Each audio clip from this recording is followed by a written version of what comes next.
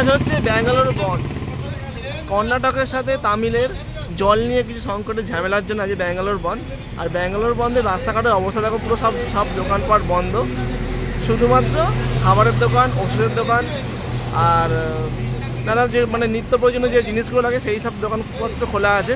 আর সরকারি বাস কিছু চলছে, বাট খুবই ফাঁকা। রাস্তাঘাট খুবই একদমই লোকজন নেই।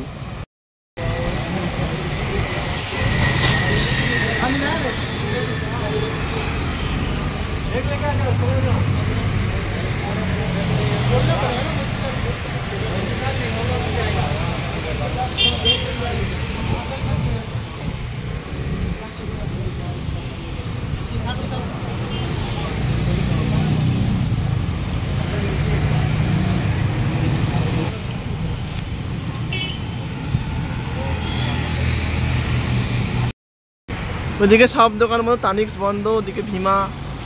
তারপরে এশিয়ান পোলো সব বন্ধ। আমাদের আর ওদিকে জিআরটি জিআরটি হচ্ছে সব থেকে বড় দোকান জিআরটিও বন্ধ। রাস্তা পুরো ফাঁকা দেখ।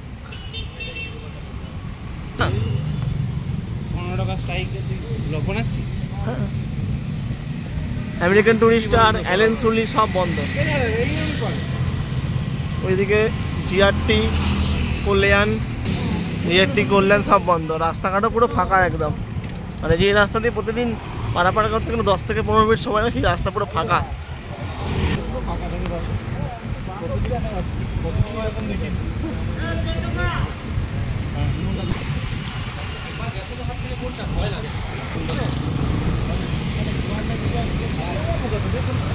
কিছু এসেন্সিয়াল দোকান ছাড়া সব কিছুই বন্ধ ছিল। আর এটাও শোনা গিয়েছে যে যদি কোনো প্রবলেমের সলিউশান না হয়, তাহলে এই উইকেটই শুক্রবারকে আবার পুরো কর্ণাটকা স্টেট বন্ধ থাকবে। আজকে শুধু ছিল ব্যাঙ্গালোর বন্ধ, আর সেদিনকে পুরো কর্ণাটকা স্টেট ওরা বন্ধ রাখবে। আবার দেখা হচ্ছে পরের বিরত বাই